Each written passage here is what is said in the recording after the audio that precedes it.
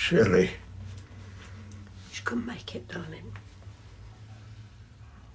Ready? Stan, Cora, the vows you're about to take are to be made in the presence of God, who is judge of all and knows all the secrets of our hearts. Therefore, if either of you knows a reason why you may not lawfully be married, you must declare it now. Are you all right? Yes, please. Dad. Vows. Stanley, will you take Cora to be your wife?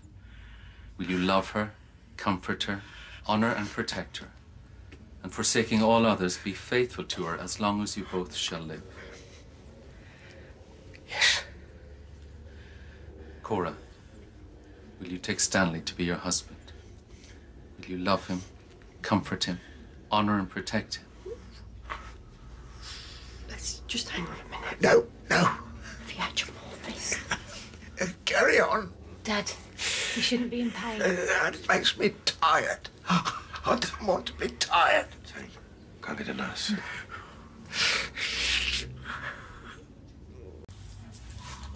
Thank you.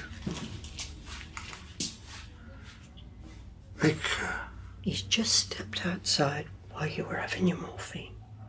He's still there. Maybe We can do that tomorrow. I'll get to wear your favourite frock again.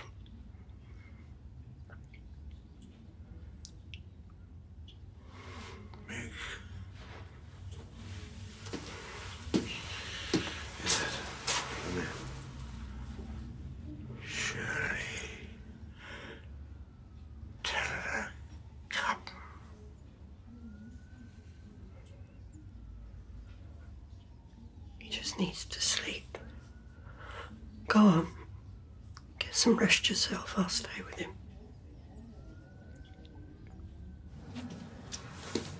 Is everything all right? Yeah. Well, that was Mum. She said she's got something to tell me that she can't tell me on the phone. Is he okay then? The pain's gone. Do they want us to go back in? Mick? There's going to be no wedding today. He's having a kid. So, what, what do we come back tomorrow? Or? I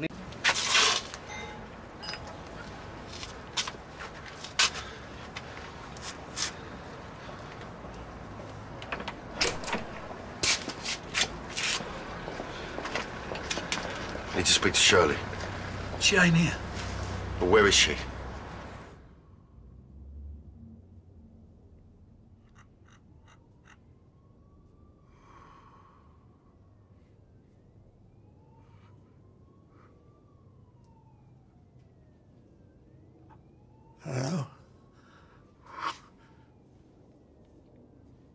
Hello? It's all right, Dad. I'm here. It's Shirley. I'm here with you.